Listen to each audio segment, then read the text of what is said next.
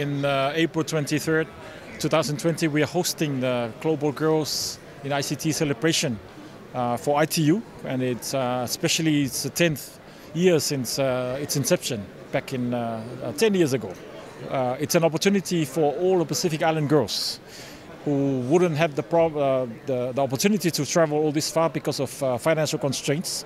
So we are looking at bringing the whole Pacific together, bringing girls in ICT from all over the Pacific and come together. It will be a combination of competitions around the Pacific to showcase what the girls have and what and how their uh, capacity building is in terms of solutions for ICT.